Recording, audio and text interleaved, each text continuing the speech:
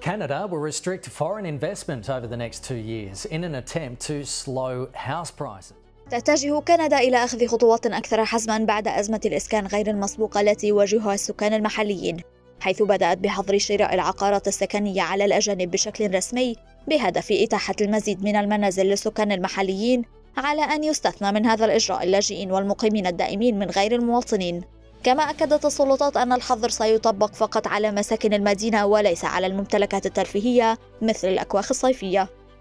تم اقتراح الإجراء المؤقت لمدة عامين من قبل رئيس الوزراء جاستن ترودو خلال حملته الانتخابية لعام 2021 عندما أدى ارتفاع الأسعار إلى جعل ملكية المنازل بعيدة عن متناول العديد من الكنديين. وقال حينها حزب ترودو الليبرالي في خطته الانتخابية إن الرغبة في المنازل الكندية تجتذب المستغلين والشركات الثرية والمستثمرين الأجانب مما يؤدي إلى مشكلة حقيقية تتمثل في نقص استخدام المساكن والمنازل الشاغرة وتفشي المضاربة وارتفاع الأسعار بشكل صاروخي. فالمنازل مخصصة للناس وليس للمستثمرين.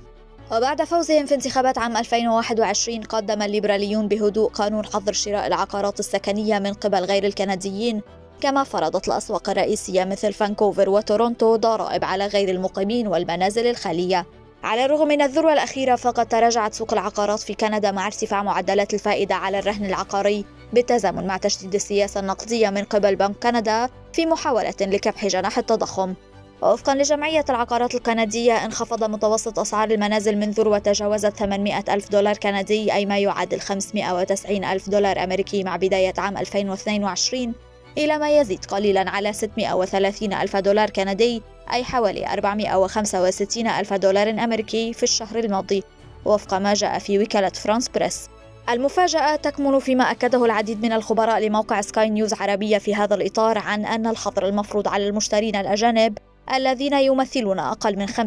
من ملكية المنازل في كندا وفقا لوكالة الإحصاء الوطنية لن يكون له الأثر المنشود في جعل المنازل ميسورة التكلفة لا بل يشيرون إلى الحاجة إلى المزيد من بناء المساكن لتلبية الطلب. بدورها أعلنت مؤسسة الرهن العقاري والإسكان أن ما يقرب من 19 مليون وحدة سكنية ستكون مطلوبة بحلول العام 2030 وأضافت أن هذا يعني أنه يجب بناء 5.8 مليون منزل جديد أو 3.5 مليون أكثر مما هو متوقع حاليا لتلبية هذا الطلب.